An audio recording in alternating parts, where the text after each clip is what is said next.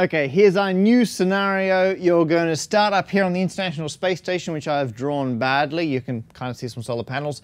You're going to jump off it. You're going to plummet down towards the Earth. You're going to line up. You're going to go straight through the hole. You're going to go shooting out the other side.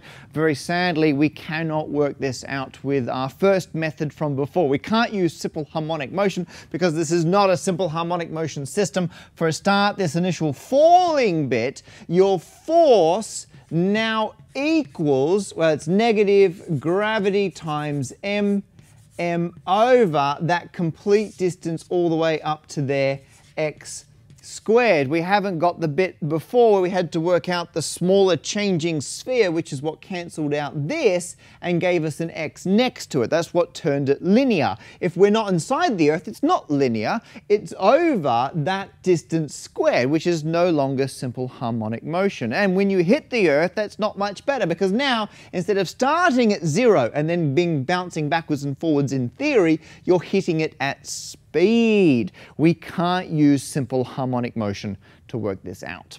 Realistically, if you wanted to work it out, you would put the ISS up up here with its solar panels and everything else. And that distance, that bonus distance there is another 400 kilometers. You've already got this distance here of 6,371 kilometers and then you just write an extra bit of your program to do all the little individual increments on the way down here using the acceleration of all of the earth at the given distance. And then when you hit here you'd switch to the routine we wrote before but now you've got to factor in that you're already hitting it at quite some speed and you can work it all the way down to there and then you double it and you get your answer out the other side.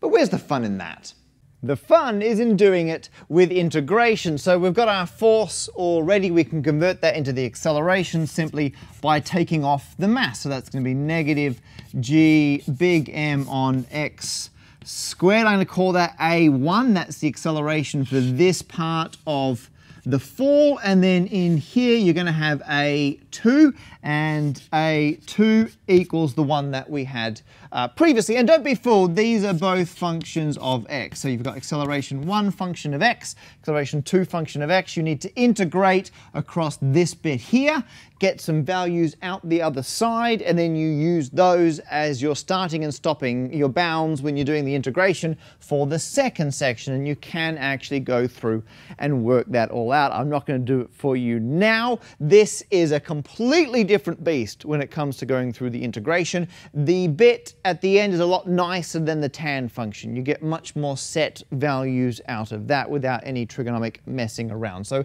so have a play with that, it's kind of fun. If you just want the answers, my working out, I got the fall takes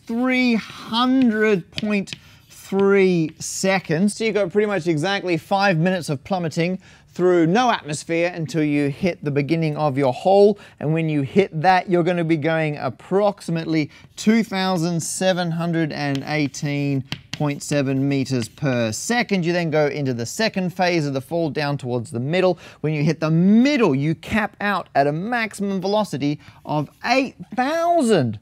363.7 meters per second, which is phenomenal. If you compare that to the International Space Station, it's going slower. It's going slow. Work it out. You got the equations. And when you come all the way racing out the other side, your total time to go all the way from the ISS down through the Earth, back out the other side, back up, catch the ISS is 2,000. 597.8 seconds compared to the half orbit time of the ISS is 2,772.5 seconds. That is a difference of almost three minutes. That is, at, well, two minutes, 54.7 seconds. You, in fact, you will get there before the ISS. So if you're on the International Space Station and you jump off it and you go plummeting down, you come shooting up the other side, you will get here a full three minutes early. And sadly, you can't wait because you will then, unless you brought some kind of boosters with you, and it wouldn't take much to keep you still, to be honest. But no, actually, it would take a lot. Anyway, so if you then got there, you'd go plummeting back down again uh, as you came out. Because of the speed the ISS goes, it would still be 1.3 million meters. It would be over a megameter back in its orbit before getting to you. So, so there's your last bit of practical mathematics. Don't try this. Well, no, well, try, try the maths and, and try the Great Courses Plus, but don't, don't try jumping off the ISS. There are a number of serious problems. Atmosphere, for a start.